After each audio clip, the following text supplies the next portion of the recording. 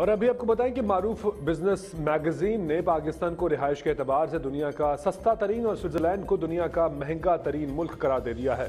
پاکستان میں رہائشی اخراجات بھارت اور افغانستان سے بھی کم ہیں۔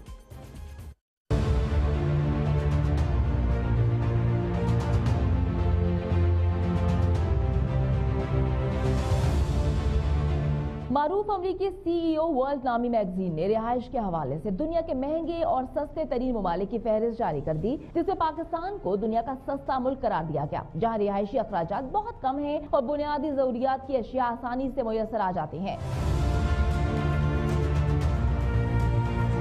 غیر ملکی جریدے کی فہرست کے مطابق پاکستان رہائشی اخراجات کے حوالے سے ایک سو بتیسویں نمبر پر ہے، جبکہ افغانستان ایک سو اکتیس، بھارت ایک سو تیس، شام ایک سو انتیس، ازبکستان ایک سو اٹھائیس کرگستان ایک سو ستائیس اور ٹیونس ایک سو چھبیسویں نمبر پر ہے۔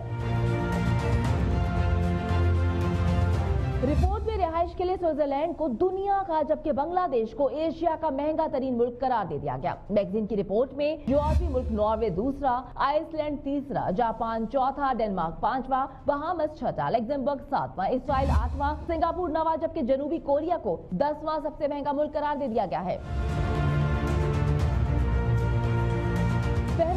مطابق امریکہ بیسویں، برطانیہ ستائیسویں، سعودی عرب ستاونویں اور روس بیاسیویں نمبر پر موجود ہے۔ اگر ایشیائی ممالک میں مہنگے ترین ملکوں کی بات کی جائے تو نیپال ایک سو بائیسویں، سری لنکا ایک سو بارہ اور بنگلہ دیش ایک سو دسویں نمبر پر موجود ہے۔